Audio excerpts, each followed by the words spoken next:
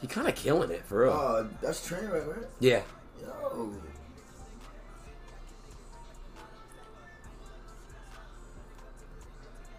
He got it down pack. I just got him one part. What part?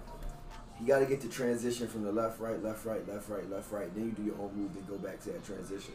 He doesn't have any like of the foundation of the like the reg like it's a it's a set move. Right.